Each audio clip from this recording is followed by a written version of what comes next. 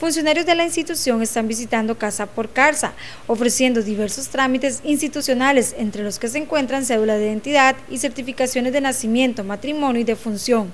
Estas giras forman parte del trabajo que permanente existe en la institución en aras de facilitar al usuario el acceso a sus servicios. Otros servicios que están brindando los funcionarios son reconocimientos o declaraciones de nacimiento, legitimaciones, solicitudes de negativos de las fotografías de algún familiar fallecido, declaraciones para naturalizados y o cursos, entre otros.